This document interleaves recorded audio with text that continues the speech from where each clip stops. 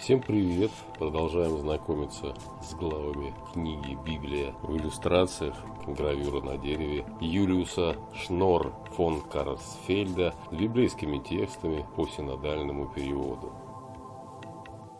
Смерть Иоанна Крестителя Ибо Ирод боялся Иоанна, зная, что он муж праведный и святой, и берег его. Многое делал, слушаясь его, и с удовольствием слушал его.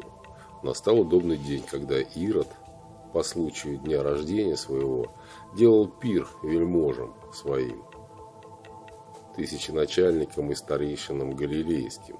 Дочь Иродиады вошла, плясала и угодила Ироду, и возлежавший с ним. Царь сказал девице, проси у меня чего хочешь, я дам тебе, и клялся ей, чего не попросишь у меня, дам тебе даже до половины моего царства. Она вышла и спросила у матери своей, чего просить? Та отвечала, головы Иоанна Крестителя.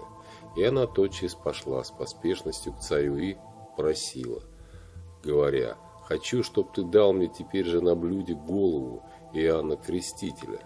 Царь опечалился, но ради клятвы и возлежавших с ним не захотел отказать ей. И тотчас, послав оруженосца, царь повелел принести голову его. Он пошел, отек ему голову в темнице и принес голову его на блюде и отдал ее девице, а девица отдала ее матери своей.